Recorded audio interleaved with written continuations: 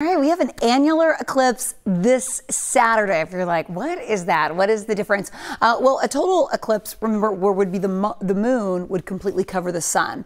With the annular eclipse, it almost covers it. It's about 84% totality, but you get that ring of fire appearance. So this Saturday, just before noon, that's when it peaks. Now make sure you have, of course, all the proper eyewear, that sort of things. There's a lot of fun parties going around in Houston too. If you want to uh, join, I know the Museum of uh, the the Houston Museum of Natural Science. They're doing a fun party.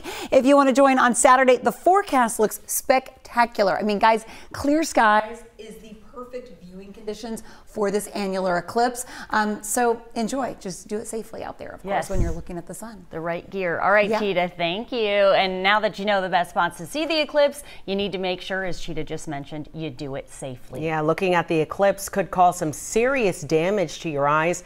Meteorologist Pat Cavlin has the protection you'll need to get this week. On Saturday, October 14th, we'll get an off center view of the Ring of Fire solar eclipse. But don't look up without specialized eye protection. During this annular eclipse, the sun will not be completely blocked by the moon. So you'll need solar viewing glasses, which are not the same as sunglasses. But you don't need to spend money. You can actually make your own pinhole device to safely view this event.